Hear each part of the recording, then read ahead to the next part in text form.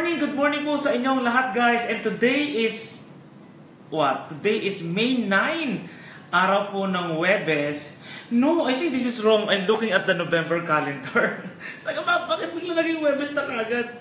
Hindi pa. May 9 is Tuesday. Kaya guys, good morning po sa inyong lahat. Ito guys, nandito naman tayo ngayon sa Buhay sa Dubai Live.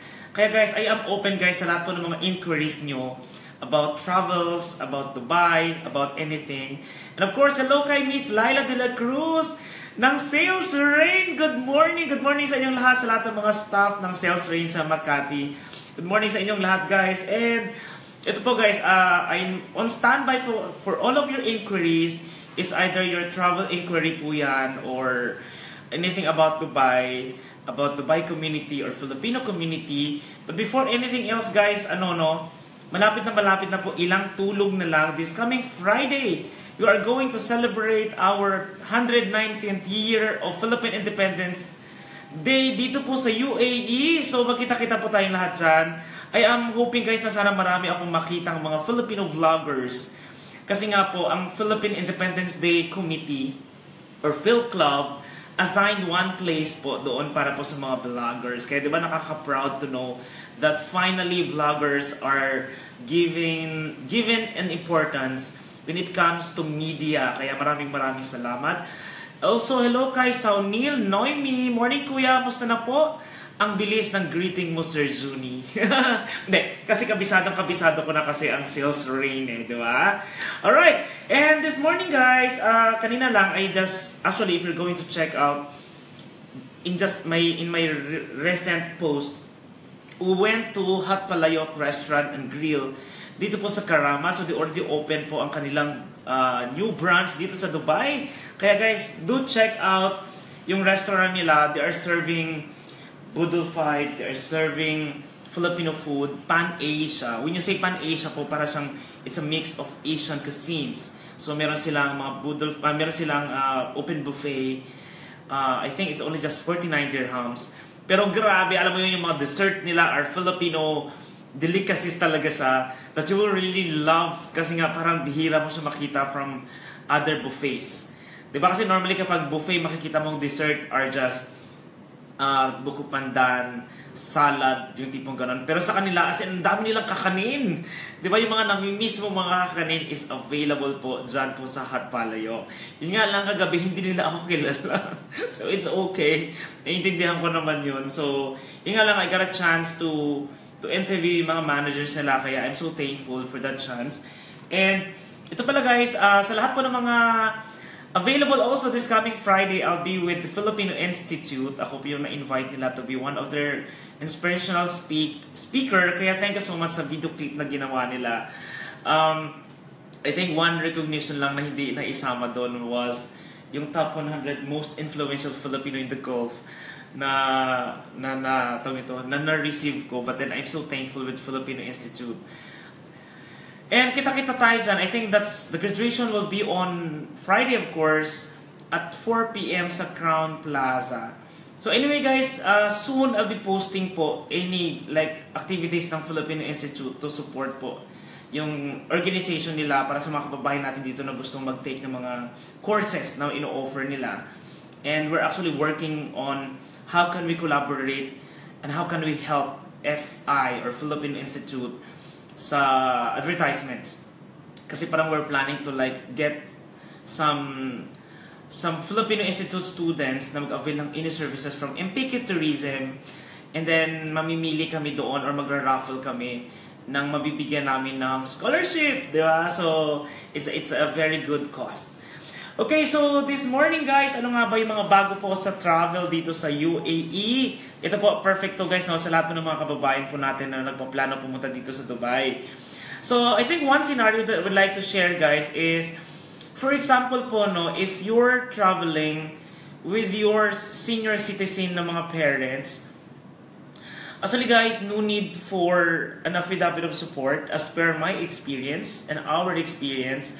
And also, kahit po hindi na original visa yung ipadala nyo sa kanila, e-visa lang is okay na. Okay, so mind this guys ha, kailangan po yung parents na sinasabi ko na magta-travel from Philippines going to UAE should be a senior citizen. Kasi ang reason niyan is because, uh, ito, this is my personal opinion. Kasi syempre mga senior citizen na yan, eh, alam nga naman mag-TTNT pa yan, di ba? For sure hindi na. So, they're acceptable na in, in, sa ganyang scenario. And at the same time, yung mga babies naman, okay lang din na hindi na original visa ang ipadala sa Pilipinas. Because this is based on our experience as well. May mga clients kami na mga infants and ang pinadala lang sa kanila is e-visa, eh nakalusot naman po sila sa Philippine Immigration natin.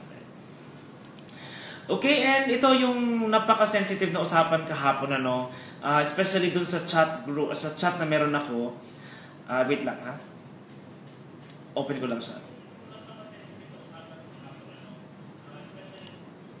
Okay, uh, we're, we're going to discuss guys about minors, minors, minors. Okay.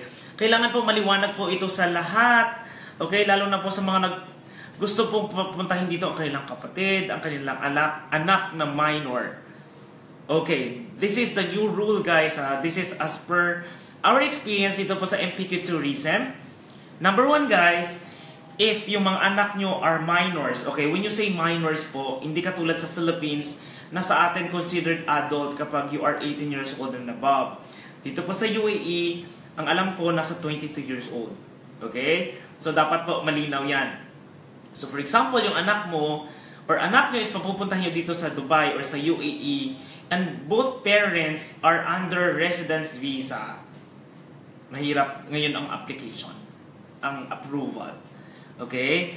So, ang gusto kasi nila mangyari, if you are minor, there should be an accompanied na parents din na mag apply din of the same visa. Ibig sabihin, ito yung magandang scenario sa mga minors. For example, the father is already here in UAE, pero ang nanay at ang anak mo na nasa Pilipinas pa, eh pupunta dito at mag apply ng visa together.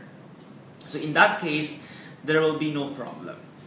Or vice versa. Yung nanay nandito, yung anak na sa Pilipinas, tapos i-apply ng visa along with the father, wala pong problema. So the requirements that you need to submit guys is of course, sa father is or sa mother is yung colored passport nila with more than 6 months validity. Okay? And of course, uh, kailangan din natin ng passport of course ng, ng anak mo. Okay? And it should be also 6 months, more than 6 months valid, invalidity siya. And at the same time, kailangan nyo po mag-attach of course ng inyong certified na birth certificate ng inyong anak. Okay? Those are the requirements guys para sa mga minors na gusto pong mag-apply ng visa going to UAE para po, kumbaga eh, hindi po masayang ang time sa pagpo-process, baka mamaya ma-reject, reprocess na naman. So, doble-doble yung gastos. Okay, so the question now guys is, what if, kuya, nandito na kami mag-asawa sa Dubai or sa UAE and both of our, us is naka-residence visa na paano namin mapapapunta dito ang aming anak? So actually, to be honest guys, I don't know yet. But then, uh, there are, I know guys, just PM me. I know kasi there are some special ways how can we still process yung mga minors na yan. Uh, just PM me guys para I can personally guide you po kasi I need to get the scenarios first, the situation, and documents bago ko ma-profile if we can apply that uh, using yung mga special uh, ito, uh, services na ino-offer from different suppliers na meron kami. Okay, hello kay Life Coach Clarissa Kalingasan. Happy Tuesday, Junie. Great hearing you again. Hello, Life Coach Clarissa. I miss you so much. Well, I think sana talaga makadalaw ako sa BBF. Si Life Coach Clarissa, guys, is the owner of Big Boodle Food dyan po sa Karamas Center. So, yung entrance niyan is somewhere sa likod yan po yung restaurant na fini-feature ko ng couple of times na they're the one offering yung Boodle food na social, okay? So what's good about their food actually guys is it's healthy. It's because lahat po ng food na nilalabas nila is kailangan po masa muna kay Life Coach Clarissa Kalingasan. Hello muna kay, of course, kay, uh, tawag nito, kay Laila, nabati na natin.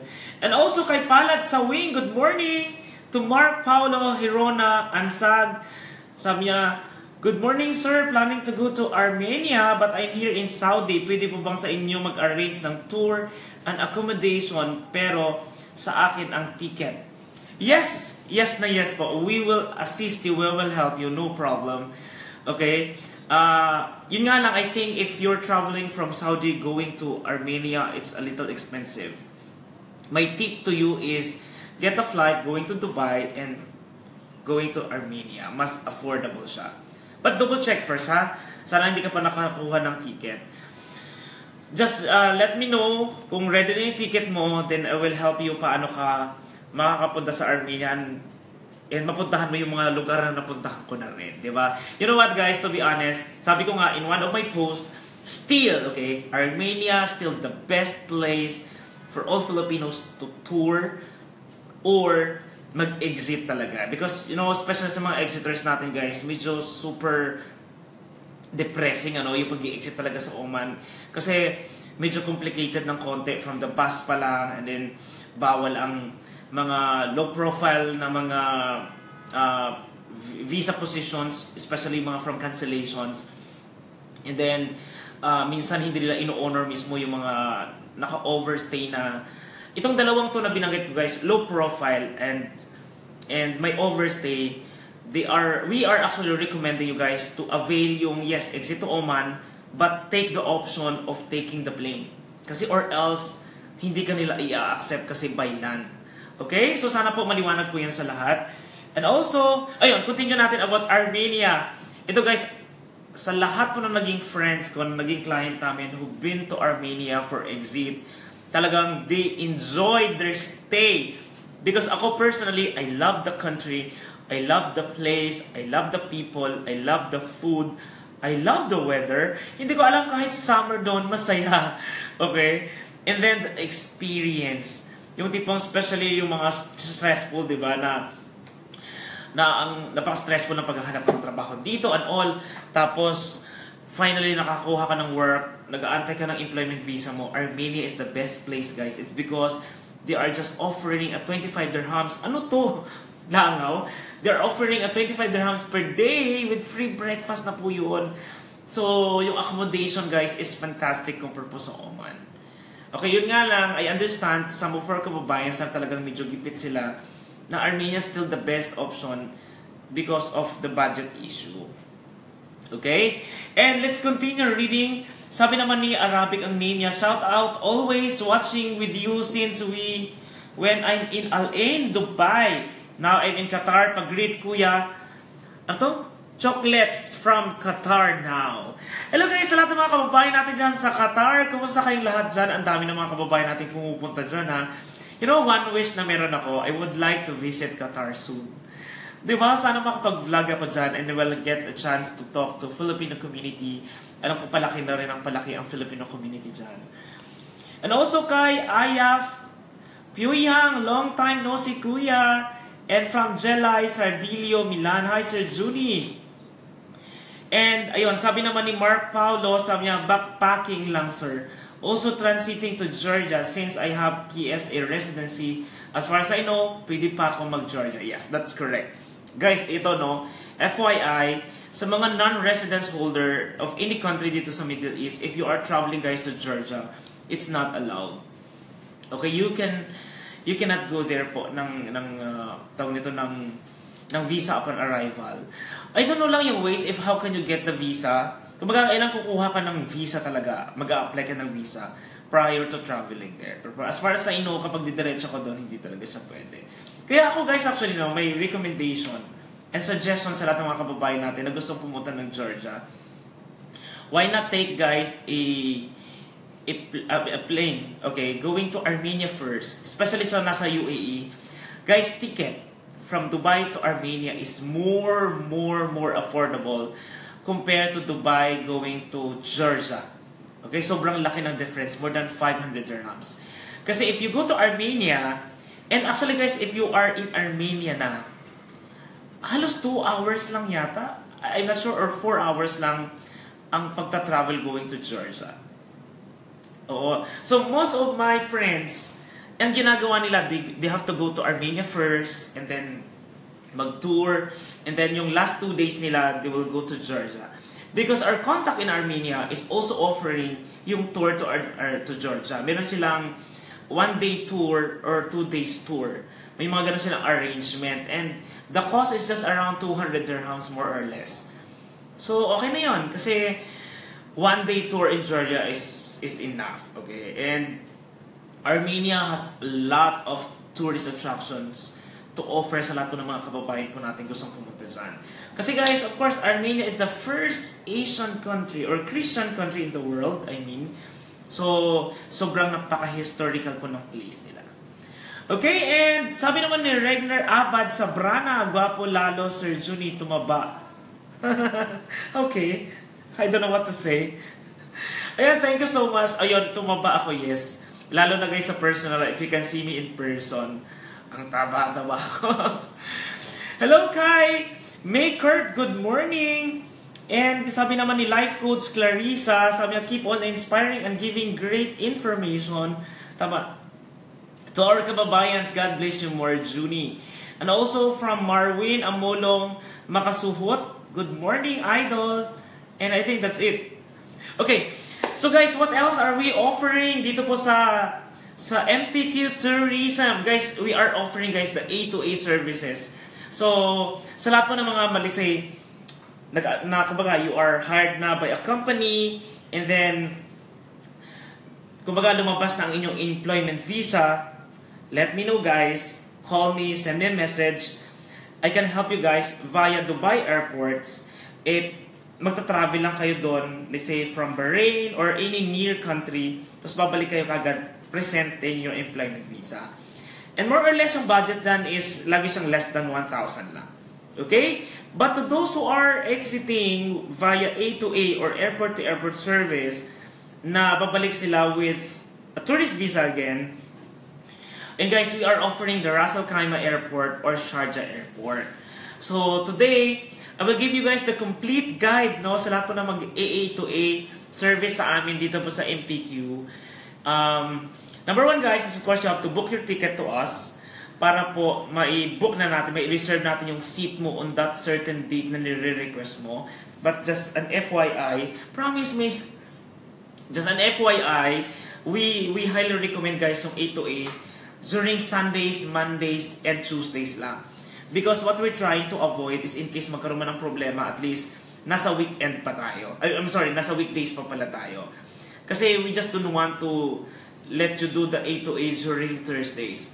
Kasi baka may, may mga personal problem or records kayo sa immigration so wala pang immigration during weekends. So matatagal lang kayo doon. Kaya no, no, no, no. Okay? But yun guys is note lang po sa mga kababayan natin, especially yung mga medyo, tawag nito, uh, may problema sa sa immigration or sa labor. Okay? And Uh, paano ba tong, uh, ang proseso dyan guys is you need to prepare. Of course, we are now offering a 1,800 dirhams na promo rate for our A to A with 3 months visa. And for with 1 month visa is just 1,400. Alright? And ang gagastusin nyo na lang after that is, of course, you have to pay for 50 dirhams na A to A charge dyan po sa Hala office sa mezzanine floor.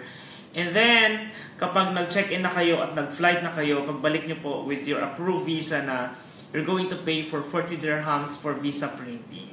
So, ibig sabihin, you have additional of 90 dirhams extra budget para po sa pag, pag A to A nyo. Okay, and sa mga nagtatanong naman, how can I go, kuya, to Sharjah Airport? So, if you're from Dubai, guys, one suggestion na meron ako is you can go to Union Metro Station.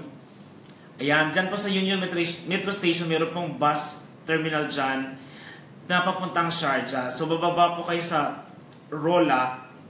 Yun po yung terminal din doon sa Sharjah. And then from Sharjah, yun maririnig niyo po yung mga, mga bus na sumisigaw ng airport, airport, airport.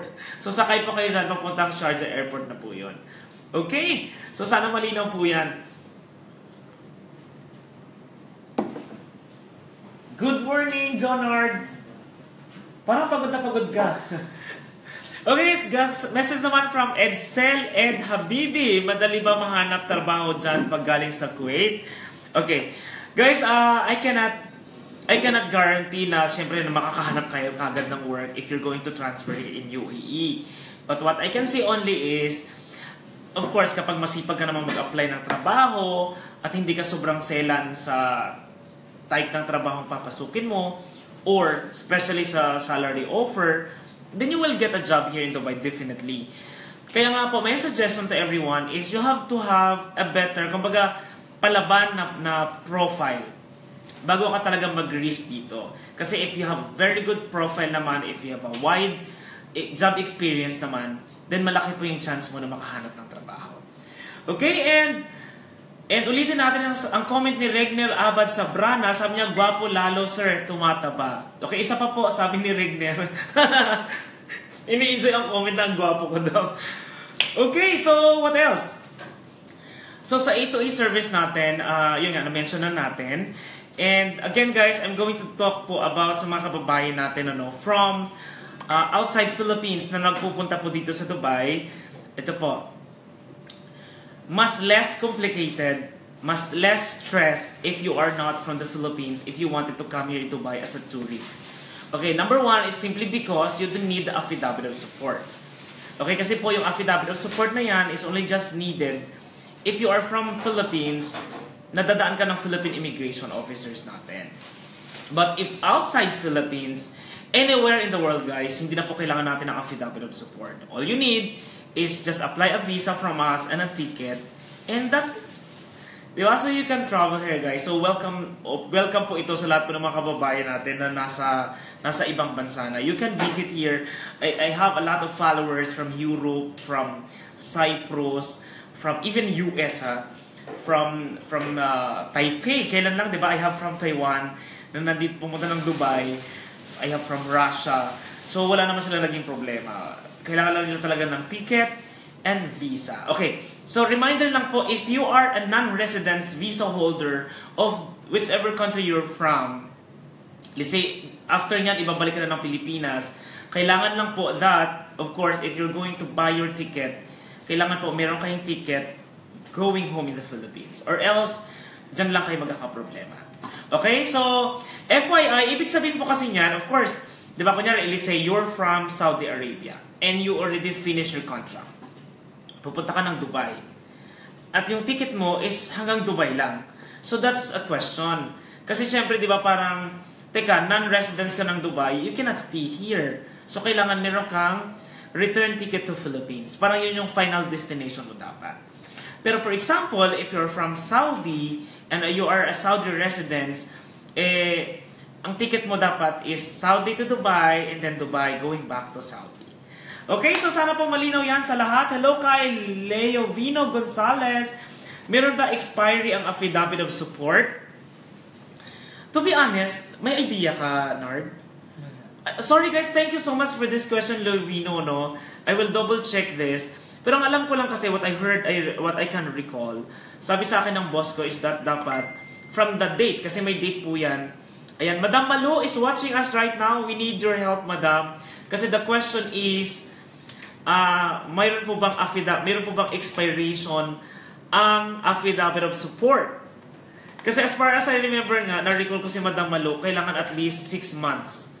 So for example, last year mo pa nakuha yan, parang baka maging question yun. Okay? So, gua, sabi ni Madam Malo, guwapo. Guwapo daw ako. I love today, guys. I love this day. Ang dami kong comment na, na, na, na nare-receive. Ang gwapo ko daw. Ay, Junard, huwag kang kumontra. Yung, yung tao mo eh. Di ba? Okay, uh, so what else, guys? Ito, sabi naman, let's read some of the messages na baka meron ako nalagpasan. Okay guys, so tuloy po natin ano. We're talking here now guys about our kababayans na nasa Pilipinas.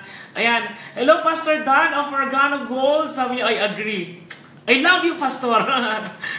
okay, pampa good vibes lang. Sales target every day. Okay.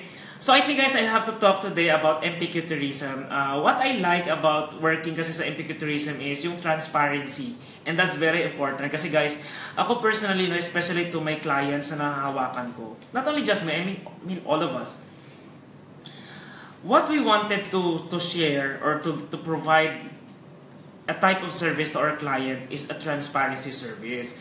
Kasi that's very important. Kasi po, uh, being honest, okay, to your client of what are the yung mga possibilities sa services na ina-avail mo sa amin is binibigay po namin yung reality, yung fact. Okay? Kasi for example, like in our uh, Oman Exiters. So most of the time kasi, some of the travel agencies are just concerned about you paying for that certain service na inabal mo sa kanila and after that, wala na. So what in our side is, no, we're not after about the money, we're after about, di ba kasi siyempre kababayan mo to eh, di ba? And you know, and you understand yung yung sitwasyon ng isang kababayan na mag exit And most of the time, wala nang pera yan. They've been through a depressing scenario na ng buhay nila dito sa Dubai sa paghahanap ng trabaho or resigning or being terminated from the company. So, alam namin yung ganong sitwasyon. So, with that, kahit man lang parang it's a moral support, parang alalay sa kanila that at least we have to provide yung realistic scenario or, or guide para sa kanila. So what we're doing is, we have to give them yung correct scenario talaga na, oh, kapag mag exit ka for today, these are the things that we're going to happen. Okay, at least they are prepared of the worst, di ba? And they will enjoy kapag wala namang ganong klase mga bad situations na nangyayari. So, kaya nga, we're so glad that most of our clients are happy na minsan, okay, although very seldom naman nangyayari, that there are some mga events, okay, na hindi namin sinasadya, at least our clients are aware na these things might going to happen. Okay, na kunyari, maaaring madelay ka sa pagbabalik mo sa Dubai, it's because what we're doing is, once your visa is approved, automatically we're forwarded to your email, we're forwarded to your, to your hotel for printing, but the bus availability from Oman, returning to Dubai is hindi namin hawak. Kaya nga lang, our suggestion is, as early as you could, mag-check out ka na para maisama ka kagad sa, as priority sa list ng kanilang mga passengers returning to Dubai. Okay? And as much as possible, what's good about actually MPQ is if you are our client, aside from availing yung services namin, eh meron kang tips and guides coming from me, okay, from coming from us. Yun yung yun yung service namin na hindi kayang bayaran. Because that's because we love Filipinos na nandito sa UAE. Okay, and ayan, naiiyak ako. ano to? May palaman? And guys, so, ang bait-bait naman ni Junard, kaso nga lang walang palaman. Anyway, ang sarap naman nito. Madam Malu, our boss is always providing us cheese whiz, pero lagi ang tinatagal nito sa amin 3 days lang. Tapos na kagad. Okay, so tuloy tayo guys sa pagbabasa ng mga comments natin. And uh, lahat A to A nandyan na agad visa, kaya happy today mga clients. And okay guys, and what else? Hmm. Anyway guys, today pala no, I'm very proud to wear a shirt, okay, from Organo Gold. Kasi alam niyo naman, I am, I am supporting Organo Gold sa lahat ng kanilang mga businesses, sa lahat ng kanilang mga projects. Kaya yon so I think wala na ako na miss out. Sana wala na ako na missed out. Okay, so any pahabol na message or question po, or if you have like wanted to like inquire guys about your travel, these are the things that you need to prepare. O, nasa na yun? Okay, so these are the the the questions guys no if you are this is just a payo sa lahat ng nag nag-i-inquire sa atin online that if you are inquiring anything guys about your travels, make, make sure po to mention yung origin and destination and the departure and the return date para po mas madali yung yung sagutan natin. Kasi di ba I understand po kasi na yung operation namin once we start talagang magsimula na kasi ang busy dito. As in talagang busy siya. So uh, mahirap po kasi yung tipong pa isa-isang tanong uh, kumbaga hindi ka nasasatisfy sa answer namin kasi pa isa-isa din. So, try to like, complete mo po yung details if you are sending us question guys of your inquiry para kahit mabili, kahit busy man kami dito, masasagot namin kayo ng kompleto. Okay, and of course, before we say goodbye, ito guys, I'm always excited to do this every morning because I have this daily inspirations by uh, Brother Peter Kairos ng CBN Asia So, I love this card. Actually, even my colleagues are doing this every day. Kumukuha sila ng card dito just to keep them inspired. Kasi ano mo minsan guys, no, uh, what's good about this is, minsan, we have to face yung reality of life na talagang, bakit ganon, Eh, parang lagi may problema. ba? But, if you have a word of God every day, parang, parang motivating you na despite of all the problems meron tayo, there is a big God up there that is bigger than our problem. So His word is very motivational. And our word for today is, Jaran, this is from CBN Asia. Okay, it's good to wait on the Lord. While you wait, meditate on His. Okay? So guys, may may uh, explanation to that is let us just be patient, God, uh, guys, of what God's plan about our life. Kasi minsan, if we keep on pushing, kasi ano ganito guys, eh, this is how I understand God's uh, plan sa buhay natin. Minsan ano, ang buhay kasi para siyang ano eh, para siyang nagpapatayo ng isang napakagandang bahay. 'Di ba? Let's say double story house, mansion. Na sa buhay natin, dumaranas tayo ng parang matitinding unos, parang sunod-sunod ang problema, parang minsan hindi mo na maintindihan why do you have to go through these problems.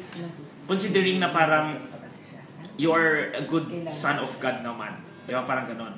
But then, tulad ka na sinabi ko, because God is preparing you a very perfect mansion for you. So kapag nagpapatayo ka ng mansion, di ba, ng bahay, name? maalikabok, makalat, madumi, magulo, maingay. But then after na mabuo na yung mansion mo, na hinanda ng Diyos para sa iyo. It's worth it, guys.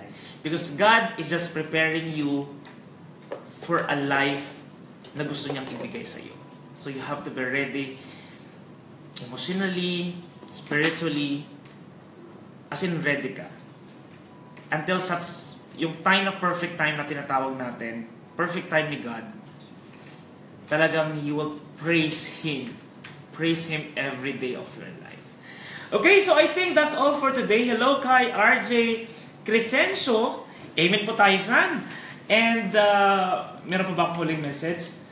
And also, okay, so I think that's all lang sa ngayon guys. And I have to work na para guys ma- matulungan na natin. No? I have some clients kasi that I need to assist para po masayang araw na to. Okay, in Jesus' name, sabi ni RJ Crescencio, Amen, and God bless everyone.